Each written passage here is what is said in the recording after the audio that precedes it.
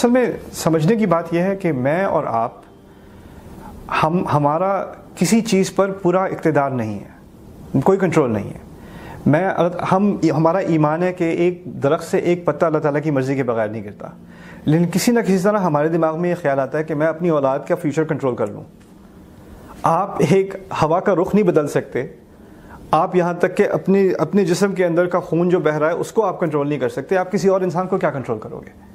नू आपसे और मुझसे कहीं ज़्यादा अच्छे वाले जो हैं वो नूह सलाम थे।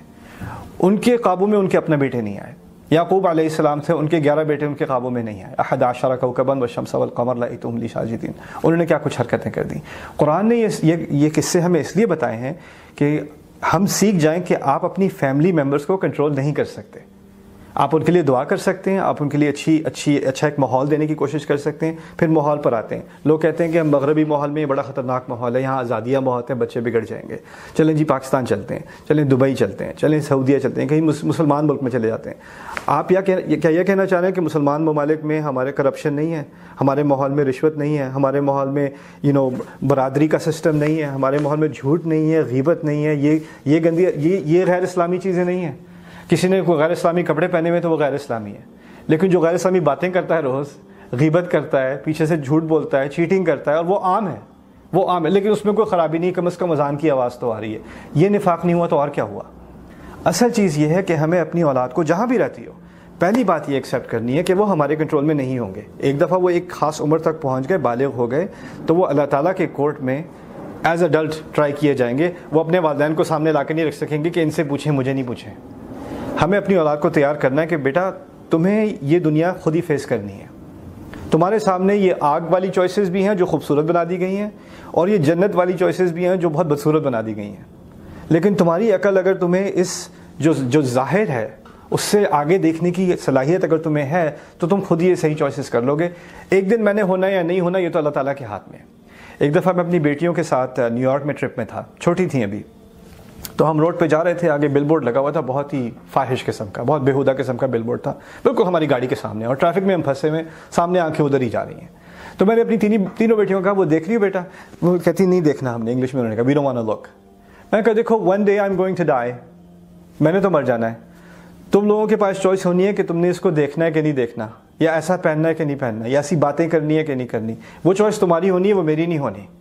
और अल्लाह ताला ने मुझसे नहीं पूछना कि तुमने क्या चॉइसेस की थी। उसने, अल्लाह ताला ने तुमसे पूछना है। तो हमें अपने, अपनी औलाद को एक तरह से एम्पावर करने की ज़रूरत है, ये खुलकर बात करने की ज़रूरत है। जितना आप इम्पोज करने की कोशिश करेंगे, जितना आप डांटने की कोशिश करेंगे, जितना आप चीख, चीखने चिल्लाने की कोशिश करेंगे प्रेशर डालने की कोशिश करेंगे, उतनी ही या तो बगावत खुल के होगी या छुप के होगी।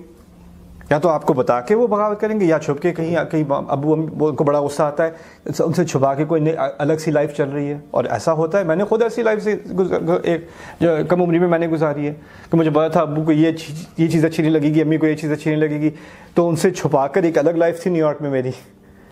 फिर खुद ही मुझे अकल लड़ा कर आना पड़ा कि ये ये this life is not okay मुझे खुद ही वापस दिन की तरफ़ आना है। मुझे खुद ही ये फैसला करना है, मैं कैसी ज़िंदगी गुजारना चाहता हूँ। तो हमें अपनी यंग जनरेशन को एम्पावर करने की ज़रूरत है, उन पर अतमाद करने की ज़रूरत है।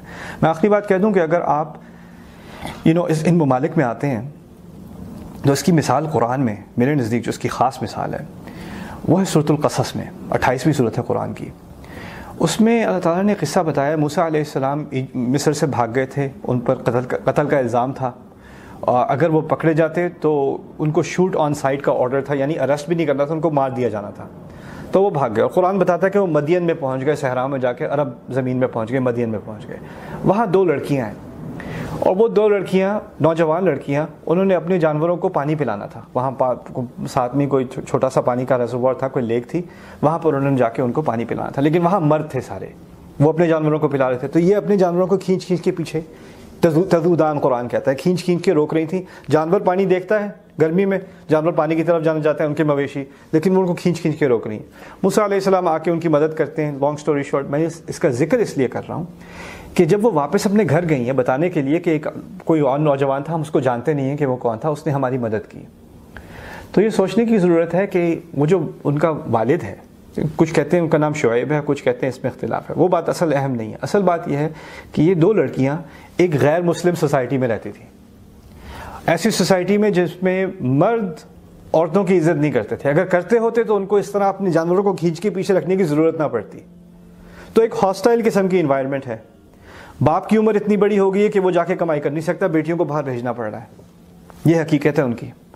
और जब वो जाती हैं बाहर तो बुरे लोग भी हैं, बुरे मर्द भी हैं और अच्छे मर्द भी हैं। अब मूसा सलाम ने आके मदद की ऑफ़र की, उन्होंने ये नहीं कहा, जाओ, दफ़ा हो जाओ। उन्होंने उनकी मदद की।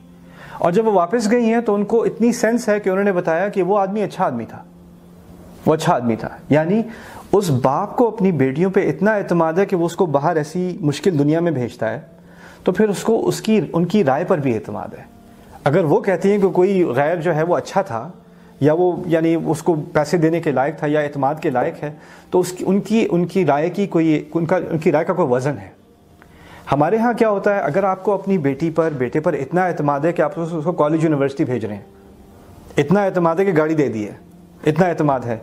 लेकिन फिर उनकी किसी राय पे कोई एतमाद नहीं है। वो जब बाहर दुनिया देखते हैं, अगर आपको इतना एतमाद है कि इस दुनिया में आपने उनको जाने दिया है तो फिर उनकी बात सुनने को भी तैयार होने की ज़रूरत है। ठीक है? तो ये एक टू वे स्ट्रीट है, ठीक है? औलाद को अपने वालदेन की इज़्ज़त करनी, ये हमारे दिन का बहुत बड़ा हिस्सा है। लेकिन वालदेन को भी औलाद की बात सुननी पड़ेगी। ये ये ये कम्युनिकेशन ओपन होनी होगी। हमारे यहाँ ये कम्युनिकेशन ओपन नहीं होती। आप आप यू नो बिल्कुल सती किस्म से पूछते हैं, आज दिन कैसा था? बच्चे कहते हैं, जी, बहुत अच्छा था। क्या किया? कुछ नहीं किया। चलो भाई अच्छा चलो, खाना खाओ, सो जाओ। कोई असल बात नहीं करते हम अपने बच्चों से। उनके जज्बात को हम सही नहीं समझते, उनकी चाहतों को सही नहीं समझते, उनके खौफ को, उनकी एंगजाइटी को, उनके स्ट्रेस को, उनके डिप्रेशन को हम सही तरह से नहीं समझते, क्योंकि हम उनसे वो खुलकर बात नहीं करते। जब तक आपके घर में खुलकर बात नहीं होगी तो बाहर की दुनिया बहुत ख़तरनाक है, क्योंकि वो अपने दोस्त से खुल के बात करेंगे। फिर वो किसी गैर से, अजनबी से इंटरनेट पे खुल के बात करेंगे, क्योंकि आपसे खुल के बात नहीं कर सकते। असल मसला बाहर की दुनिया नहीं है, असल मसला घर के अंदर जो हो रहा है, वो है। मेरा मसला, मेरा फलसफा ये है।